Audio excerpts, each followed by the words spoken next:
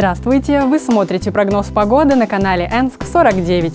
Еще один циклон из-за Урала выходит на Западную Сибирь, продляя сырую холодную погоду от Урала до Енисея.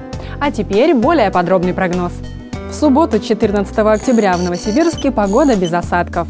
Ветер юго-западный 2,7, порывы до 12 метров в секунду. За окном в ночные часы плюс 2-4 градуса, днем 10-12 тепла. А сейчас прогноз на последующие двое суток. 15 октября временами дождь. В ночное время 4-6 градусов выше нулевой отметки, днем температура существенно не изменится и составит плюс 6-8. 16 в ночные часы пройдет небольшой дождь и похолодает до 0 плюс 2. В дневное время уже без осадков и столбик термометра поднимется до плюс 6-8 градусов.